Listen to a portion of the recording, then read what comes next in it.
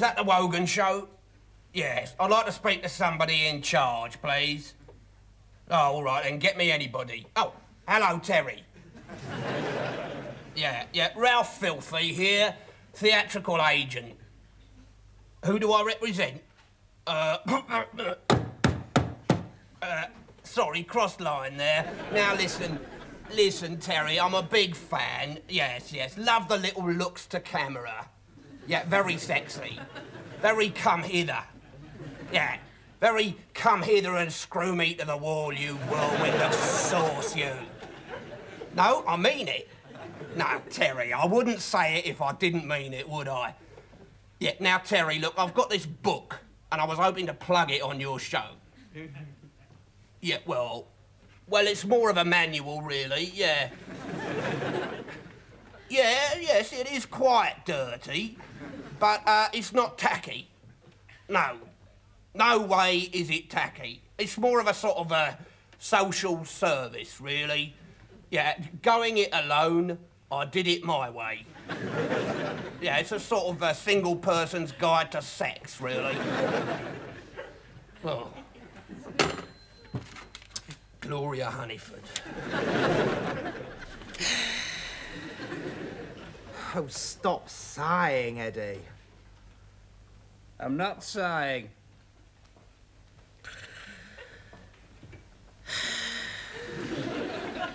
Pardon me, but I think you are sighing. I'm not. I'm idly collecting phlegm at the back of my throat. and when I've got enough, I'm going to gob at you.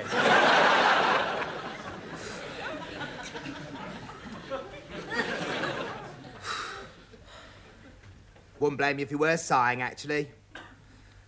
The hours are not exactly charging by at the moment. No work. Nothing to do. Wonder what Tom O'Connor's up to.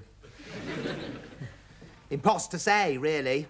For man is such a sparkling, multifaceted genius that one simply cannot predict what amazing thing he'll get up to next. Actually, it's an interesting thing about Tom O'Connor. Well, congratulations, Richie. I had thought that today I had plumbed the very depths of tedium, a level of boredom beneath which I could not sink. But no, Richie Rich has started to burble on about Tom O'Connor.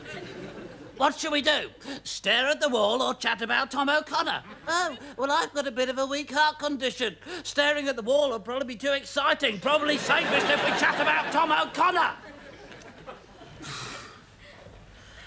You don't fancy watching a couple of episodes of Name That Tune on the vid, then?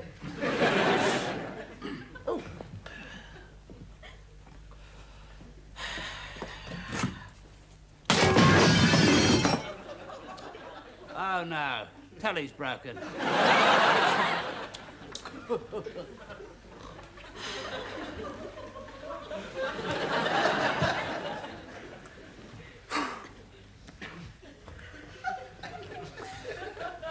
Tom O'Connor's probably playing golf now. Him and a few of the guys. Probably only just realised that I'm not there. But I thought you were going to ask him, Bob Monkhouse. No, you said you'd do it, Tom. Oh, bother, that's the whole game ruined then. Bob Hope will chip in. Bother, bother, bother, bother, bother. Richie, Richie, please, I'm begging you. No, I'm not. I'm threatening you. if you don't shut up, I shall ram your head into the microwave. All right, all right, all right. The subject is closed.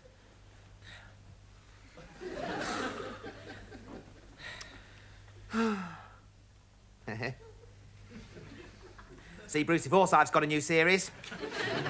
Spot the catchphrase. Brucey trots out a series of meaningless catchphrases, and the celeb panel have to guess which one's going to annoy the general public most. Could be very big, Eddie. Richie, do you think we could possibly avoid the subject of Brucey Forsyth as well? I mean, in terms of boredom, it's much the same as talking about Michael Barrymore, really, isn't it? What? Eddie, your ignorance really is embarrassing. We're talking about two completely different artistic entities. I mean, their catchphrases, for example. I mean, what's Bruce's catchphrase? Come on, what's Bruce Forsyth's catchphrase? You know you know it. Come on, what is it? What is it, Eddie? What is it? It's gonna be a big night tonight if you play your cards right. Nice to see you. Give, us a twirl and fear. I'm in charge, that's right. And Michael Barrymore's is anything John Cleese ever said. accompanied by a couple of rounds of. "Oi, oi, oi, oi, oi." Where's the similarity there? Neither of them are funny.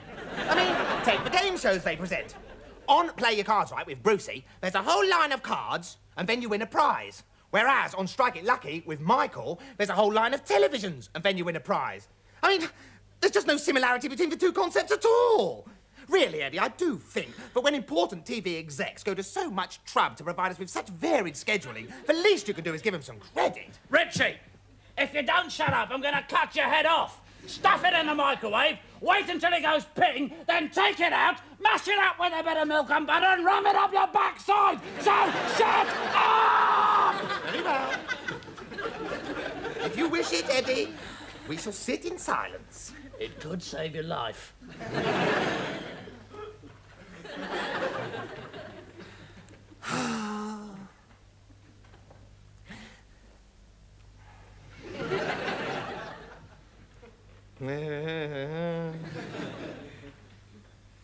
Hear Ted Rogers has been thrown off 3 2 1. Right. Too old, you see. Too old. He's 108 if he's a day. Got caught short in the ad break and had a whittle in Dusty Bin. Dreadful business. Actually, the rumour in the business is that they want me to take it over. Yeah, me. With Sammy Fox as the glamorous bit of totty on the side. Yeah, could be a very special team, I think. Hmm. Do you wanna touch my body? Yes, we do, Sammy. And what's more, we want to stick our heads up your blouse and go. Then shut up!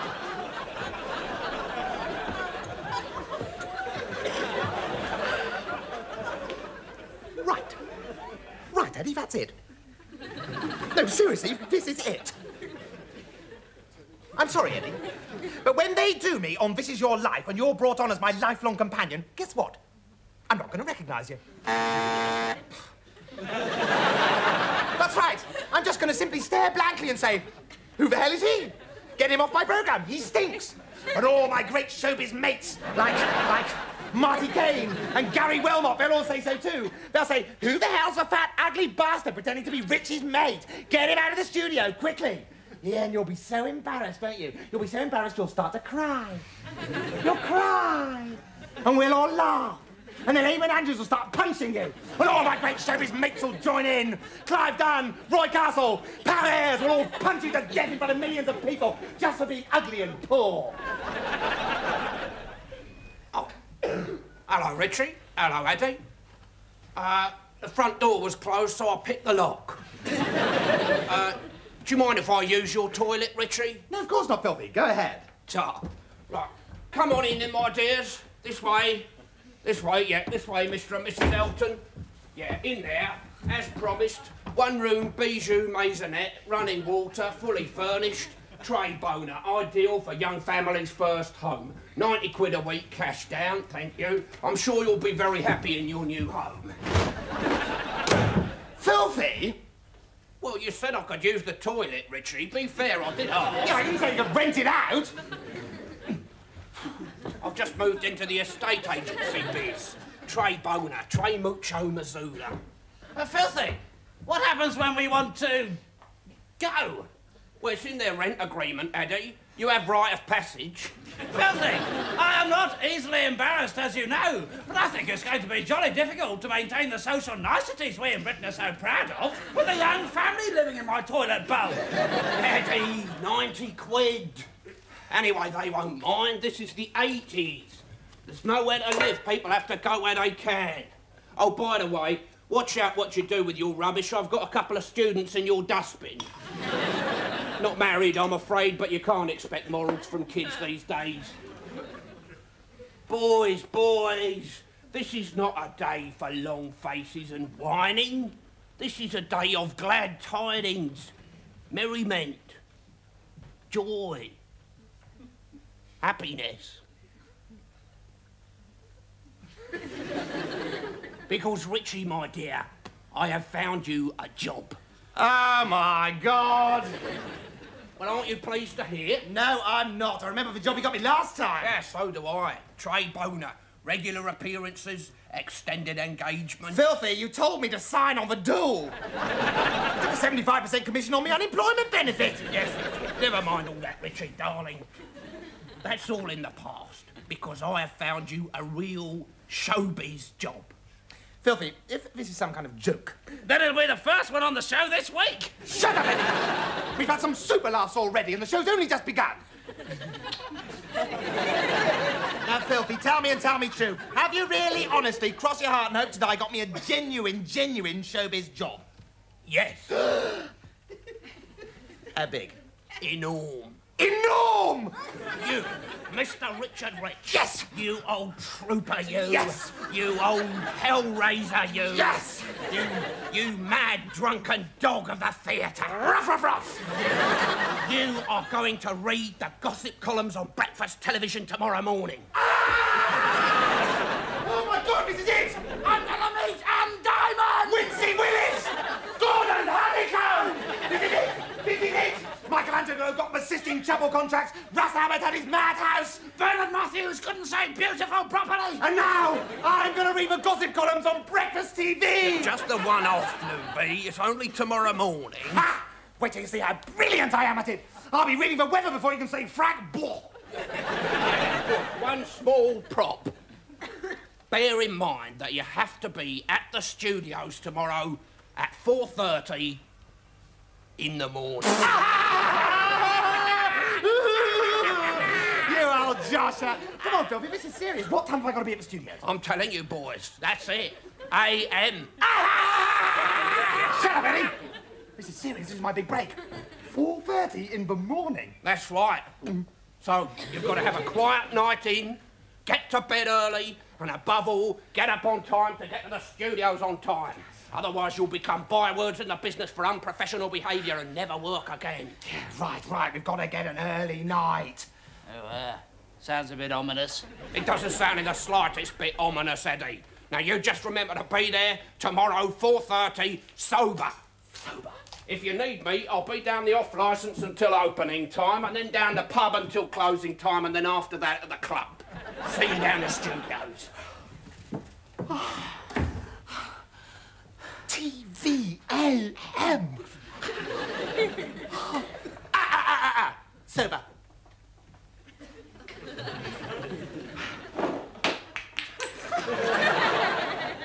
Right, 4.30 in the morning.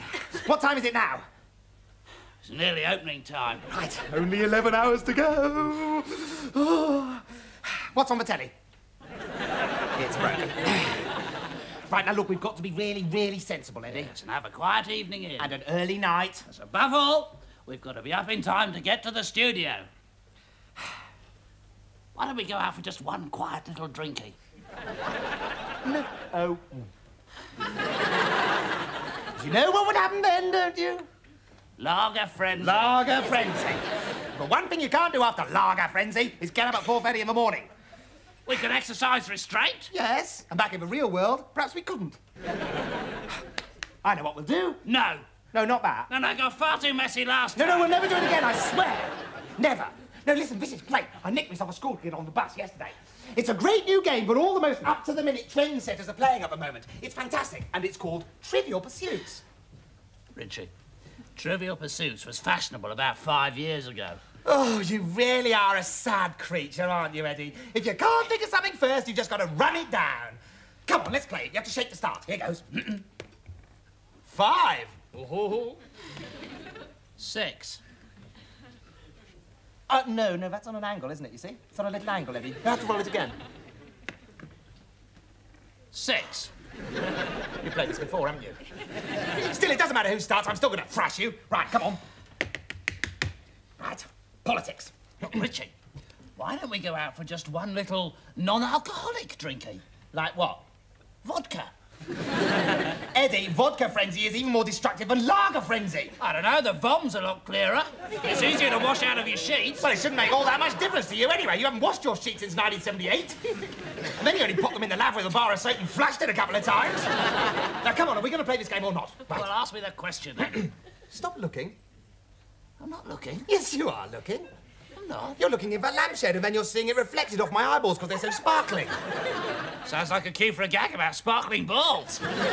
Not if you ever want to work again. right, now, come on, let's play and stop cheating. I'm not cheating. I don't need to cheat to beat you. Ooh. Well, in that case, perhaps you wouldn't mind turning your back while I read the question. All right then. Great.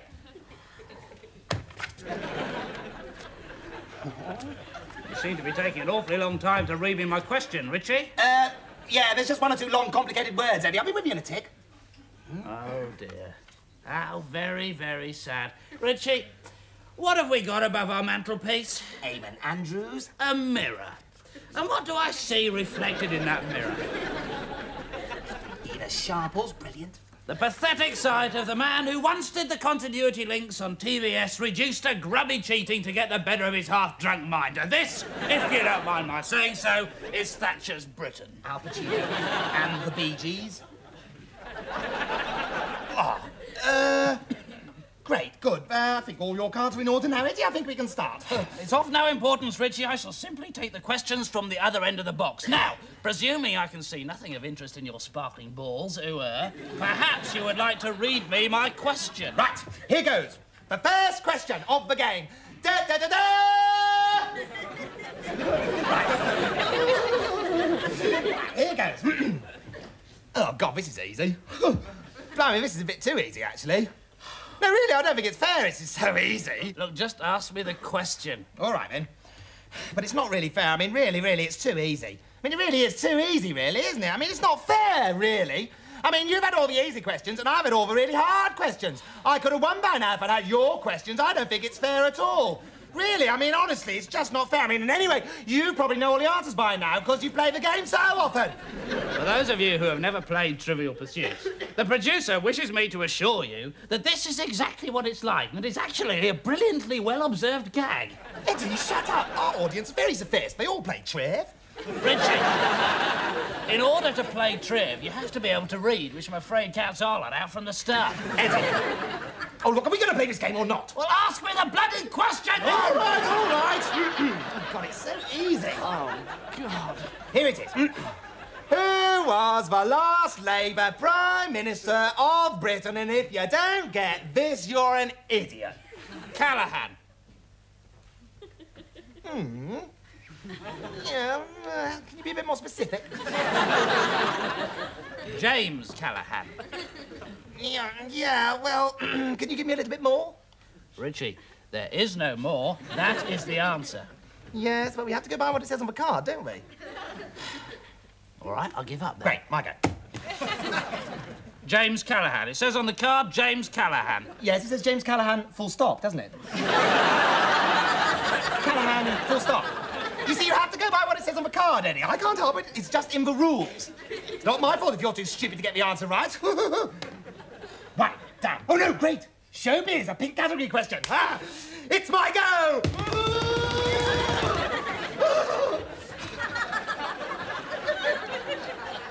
Who was the star and director of the Rocky and Rambo films?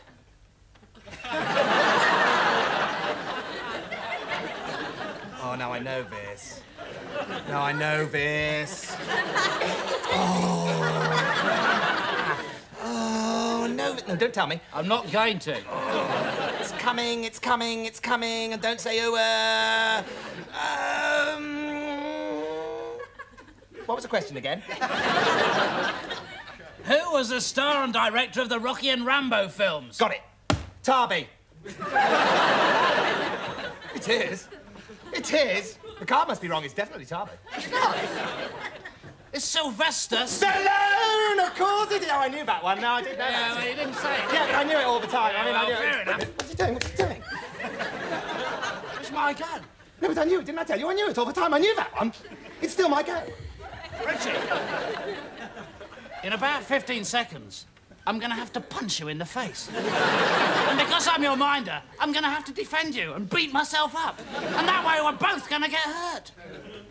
Why don't we avoid all this unpleasantness and just go for one teeny weeny, only have one-y drinky? Eddie, we're having a lovely quiet night in, playing a fantastic game of Triv. We've got to be up in time to go to the studios. We can't go for a drink. All right, Eddie, I'll let you have your go. Go on, go on, have it. I'll ask you a question, and I hope I give you a really hard one, and don't say you uh. Oh, uh, geography. Right. Oh, God, this is so easy. right, right. What, then? What is the world's northernmost capital city? Reykjavik, comma, Iceland, full stop.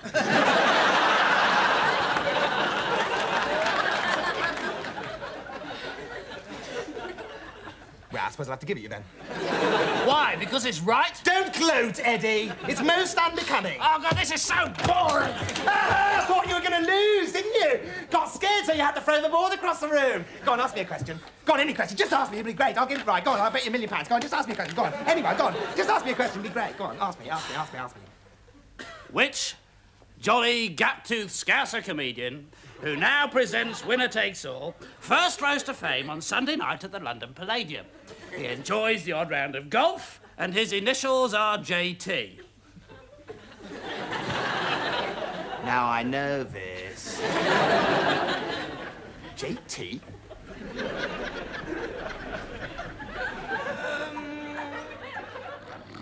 Um, I know it, I do know it, I know this, I know this. Um, got it. Jimmy Tarbuck. What? Oh, yes, of course, Tarby! Yes, it's Tarby. Great, I got another one right. Ask me again, ask Oh, me no, now. this is pathetic, Richie. You've just landed a contract at TVAM. We should be out celebrating, not getting bored to death. Eddie, we've got to be up early so we're bright and fresh for the studio at TVAM. Richie, if we went out for one little drinky, it might help us sleep. Just one.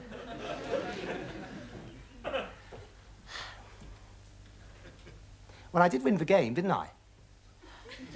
Yes, you did. Very clever. Bravo. All right, then. Just one little drink. Uh-oh. Lager Frenzy!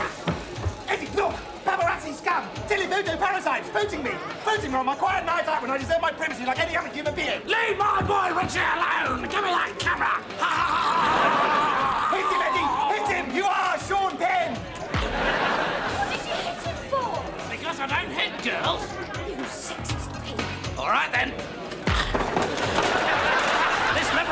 Liberation game's a lark, isn't it, Richie? Let's get drunk. Yeah, yeah, yeah. You two are going to have to go before I call the police. I don't tolerate this kind of behaviour in my club, except from celebrities.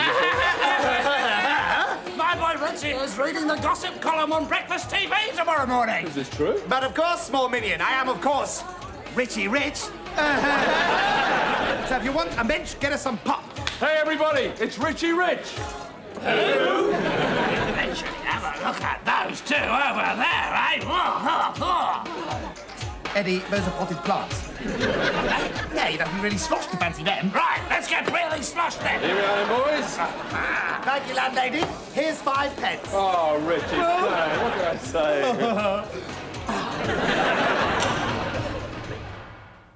Fantastic! I must prefer this club, and it's on the way home, really.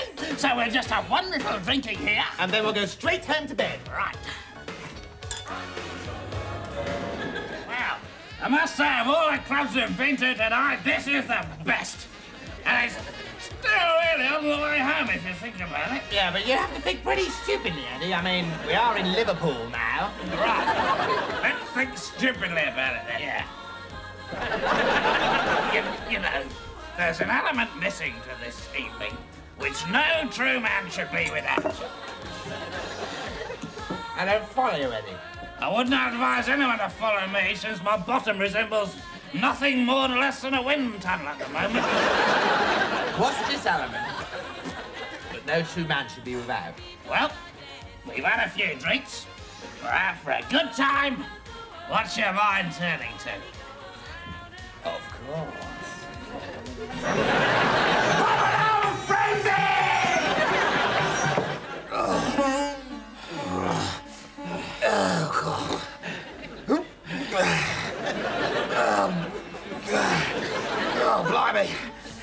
loosen my trousers, would you, old girl? Oh, Why can't you do it? Because you're the nearest. All right, Just stand by my tummy. anyway, you have to do it anyway, because I said that you had to do it. And you have to do what I say, don't you? Because you're the pathetic nobody and I'm the great fantastic person. That's what your life's all about, isn't it, you zero?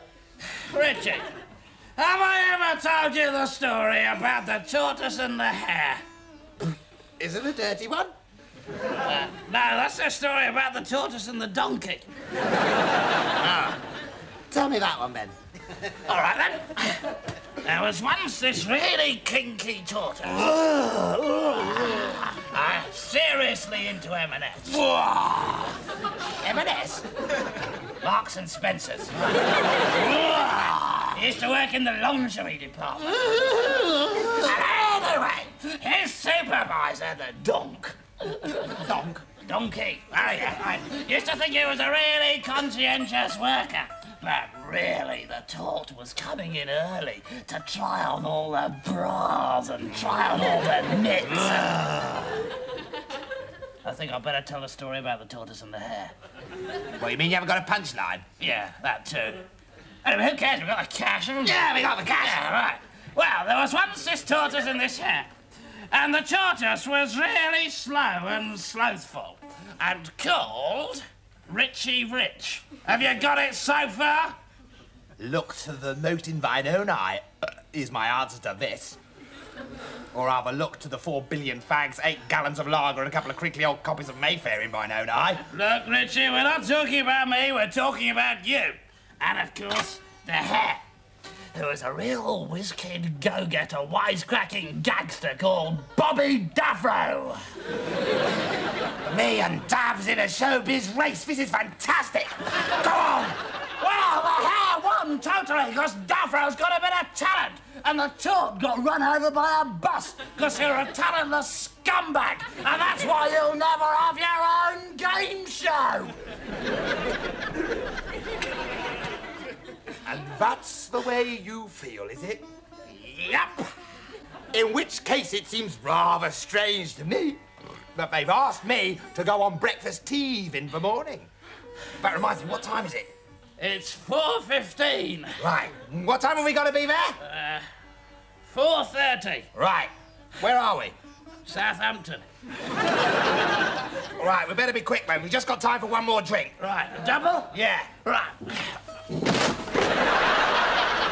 Mr. Filthy, there's only ten minutes left. I really am becoming very worried. Yes, I know, Anne, my love. I am trying to trace them. I am considering every possibility.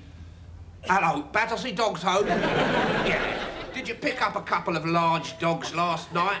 One wearing a Ponzi suit and the other with a copy of Health and Efficiency in his back pocket? no? Right, we'll sod you then. Look, we're running out of time. The pink goddess has had a heart attack. She's been bending and stretching for so long.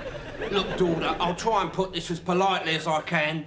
Shut your face, you silly old cow. You to save money on has-beens. Hello, yes, senior service club. Yes, I can hold. Hello, yes, do me a favour, would you? Look out the window and see if there's a couple of revolting offences to humanity wiggling their backsides and saying, we'll do anything for half of lager. there isn't? Right, we'll sod you then.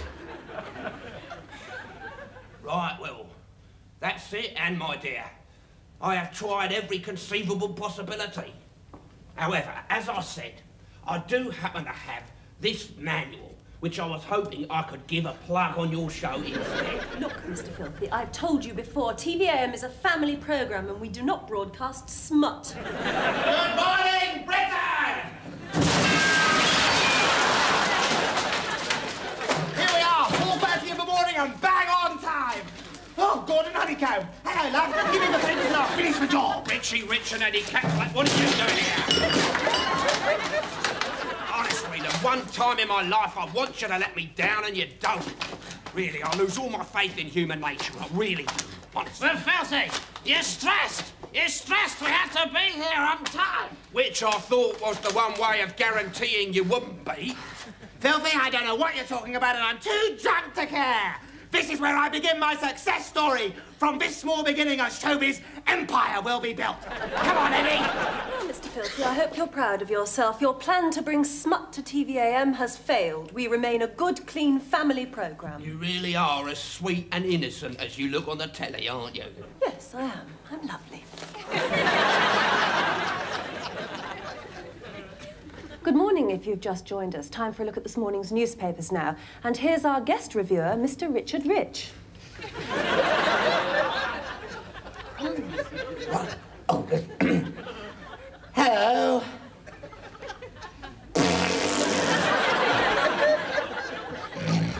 That's my little raspberry sign. Do the papers.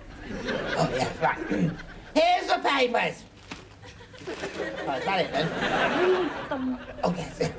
Just my little joke. Right. Hello, viewers. Here's last night's gossip in the newspapers. Let's start with John Fake in the Daily Bastard, shall we? Always do something there. Ooh, this looks good. Embarrassing incident with bare bottom in local eatery. Pathetic and forgotten has been, Richie Rich, showed just how low he. That's me. I thought his helmet was the toilet, claimed the has been, as a policeman, but. Mr. Richard Rich. Oh, God, I think I'm going to be sick. Eddie! Eddie! What? This, this copper wants a statement. Ah, right. All coppers are bastards. Just tell me what you did earlier this evening, Peter. well, it had something to do with our trousers. Exactly what you did. For heaven's sake, we're still live. We're on air. Don't worry, Anne, we'll just sort this out. You're amongst professionals now. what exactly did we do last night? oh, yeah. Shall we show it? Yeah, let's show the world!